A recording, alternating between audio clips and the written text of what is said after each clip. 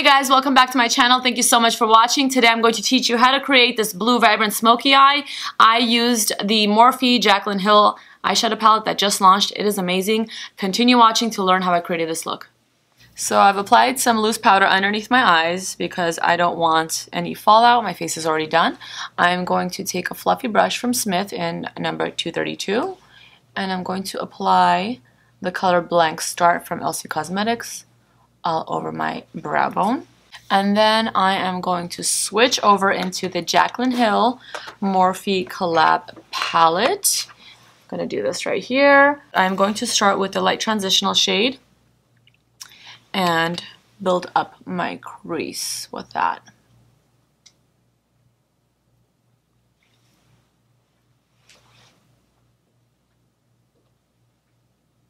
I'm going to go a little bit deeper now and start building that transitional color.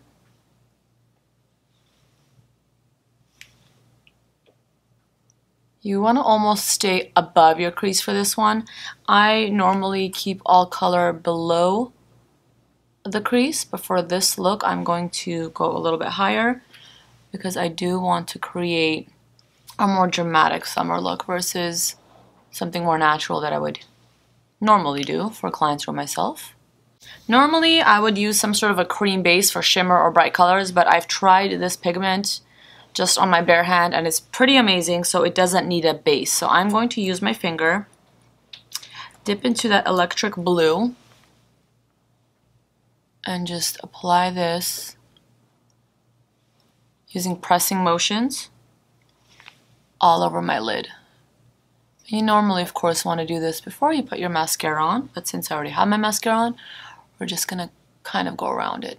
But I am using my finger because I really just want to press the color on the lid and get it as pigmented as possible.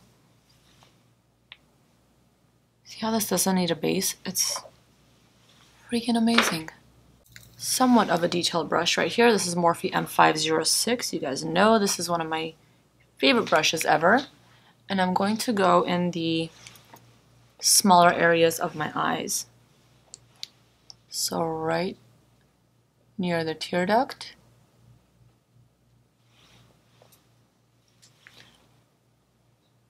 On both sides. In the outer corners.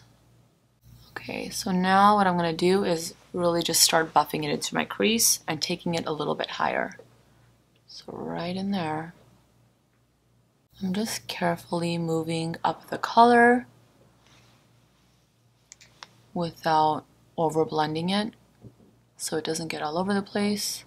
So depending on what you want the shape of your eyes to look like, you're going to change this eyeshadow in several different ways. If you want a very rounded eye look, you're going to go a little bit higher in the blue here. If you want a very catty look, you can wing out this blue a little bit more. And if you want to make it dramatic, you can take it high and out. I am going to keep it more in my eye and take it out in a more rounder finish.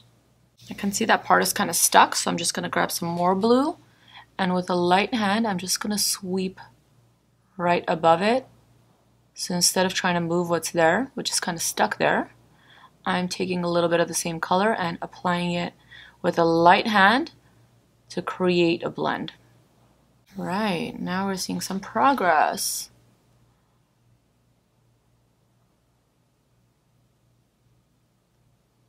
Okay, so I'm going to take the first blending brush I used at 230. I'm actually using 235. Alright, so I'm just taking a little bit of that warm color to help this blue really blend out, but I'm barely touching. I don't really want to move the blue, I just want to apply some color at the edges of it to help it diffuse. Okay, so I'm going to take this B Bella brush in RG214, it's just a pencil brush, and dip into that same color and we're going to press this right underneath the eye and smudge it as we apply it. So if you're gonna do a look like this with a really dramatic eye, it kind of becomes your statement piece. So you, if you ever want to pull off this look, you gotta wear basic colors such as black and white. You can't do this with, I know sometimes I guess it depends on the look. If you want to do something very florally and you want to be like eccentric, then it'll look good if that's your personality. But other than that, if you want it to be wearable, you got to do it with basic colors so that, you know, this becomes the only focal point versus like the outfit, the hair, the jewelry. It might be a little bit too much. Alright, so now I'm going to take a black eyeliner. This is from Tarte, the Tarteist Blackout. And I'm going to coat the waterline.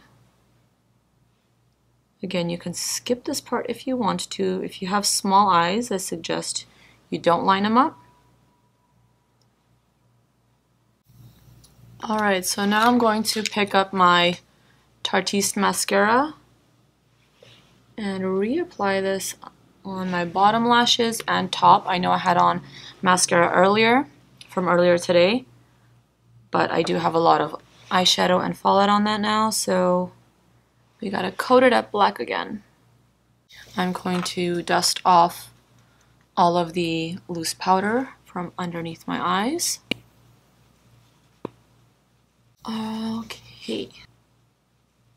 Okay, so I'm going to use these lashes from Ummu Doga, and these are in the style Enchante, I believe. I'm using the Callus, which is, as most of you know, my favorite lash glue. And I use the shade Black. And just pop that on. Just reapplying my lippy. This is Knotty from ColourPop. It's neutral, but it has a little pinkish hue. I had that on for my previous video, so I'm just reapplying it. I'm not changing anything. So if you want to see how I did the colors of the face, watch my silver smoky video. Alright, I'm going to just reapply my highlighter because it did get lost with all that transitional or translucent powder. And that is it. That is the final look to my blue vibrant smoky eye. I hope you guys enjoyed this look. Make sure to subscribe, like, comment. Let me know what other looks you guys want to see, and I'll see you next time.